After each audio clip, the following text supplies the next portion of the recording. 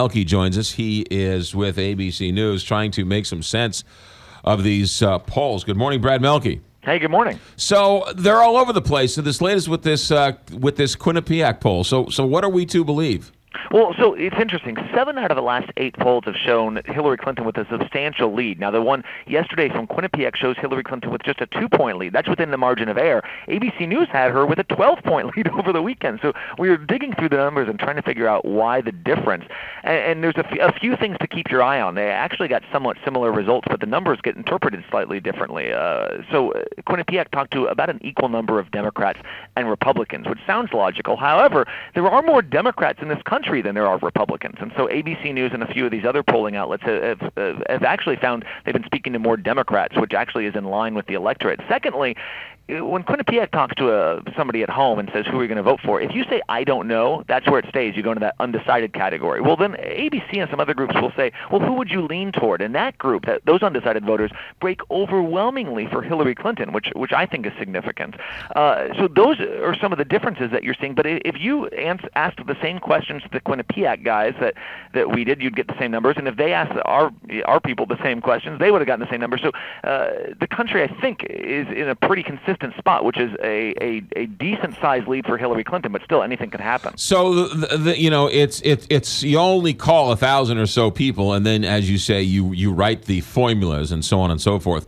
One of the big things is how many Democrats show up versus Republicans, but but overall turnout is also a important part of that uh, of that formula. Exactly, and that's what candidates are. That's what campaigns are looking towards right now. They might see these numbers and not necessarily think that if you're Donald Trump, that might not necessarily mean that you're out of this. This just means that you need to really mobilize that hardcore group of supporters and find ways to kind of turn off those Democrats that said, "I'm not sure, I might vote for Hillary Clinton, but I, I really don't care for her that much."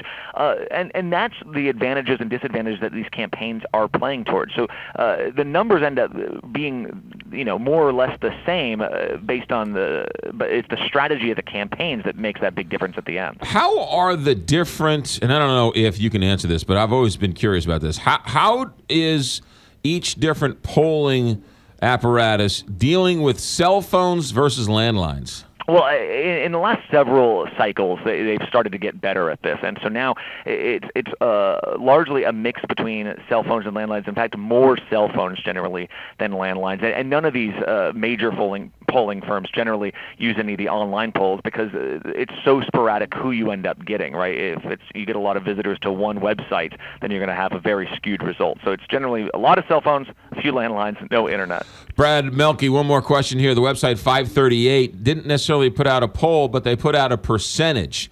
Uh, which they, I guess, they have Donald Trump at a 20% chance of winning the presidency. How does that mix with all these other polls? Well, so yeah, that takes into account all these polls. Plus, they, they the, the whiz kids at 538 also use a bunch of other models, such as uh, those polling bumps that we always see after the conventions. They're going to be factoring things like that in. Uh, they're going to uh, take into account the economy. You know, when it's a bad economy, that's usually bad news for the incumbent party. All that uh, let them create a model for forecasting. And think of it like a weather forecast. Right now, they're saying there's an 80% chance that Hillary Clinton wins. Uh, as we've seen, you know, that also means there's a 20% chance that does not happen. So depending on how you hear that, it might sound like it's a very aggressive stance, or I'm sure there's a lot of listeners who think Donald Trump doesn't even have a one in five chance at winning this thing. So that's where that forecast is at right now. Brad Mielke, have a good Fourth of July. Thanks for checking in. All right, thank you. You got it. 625 here, Big 550.